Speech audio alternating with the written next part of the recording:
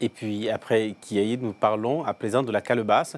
Cette plante rampante de la même famille que les citrouilles et les courgettes est utilisée dans différentes manières couramment. Elle sert d'ustensile de cuisine et est incontournable dans la société africaine, vous le savez déjà.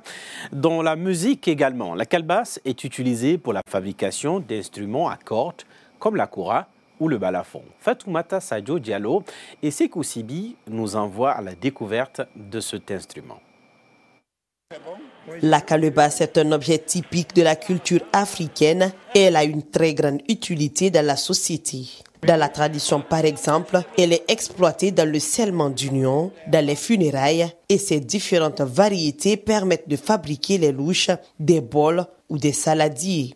Ça se, quitte à l'abbé, il y a d'autres qui quittent à, à Dabola. C'est les malinqués, quoi. C'est eux qui nous apportent ça pour vendre les gens aussi. Euh, tu peux mettre les fonios, il y a les riz, beaucoup de choses, quoi. Le manioc aussi. Mais l'autre est maro, mais il y a un jombugon, la voie de mariage, ben horde a den soda, comme mariage, ben loupe parce que l'on doit joni be transféré et pour là fi mariage on no wodi fos ɗum ɗon fof ko mum no moƴƴi quoi. O horde ɗo.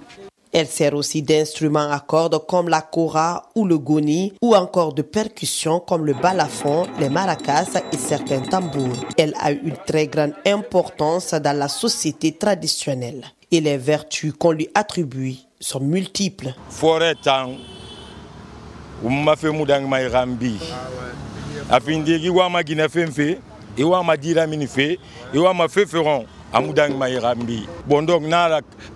berese mara. Binya.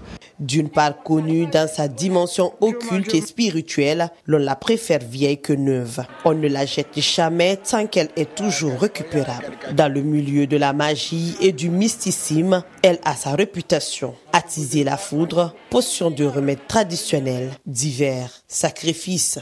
Yilenge vang. futi muirima yilenge gambi wo yilenge binya yilenge fa khiya mumatima yilenge gambi wo ngailenge binya Et cette musique, effectivement, sonne comme un rappel à la tradition pour son respect.